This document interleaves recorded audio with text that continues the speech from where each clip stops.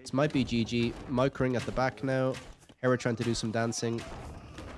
Oh, Mangonel's shot just goes over. A bit of a misclick on the outpost there. Look at this micro from Sitaux. Getting within the minimum range of the Mangonel and then shooting the archers.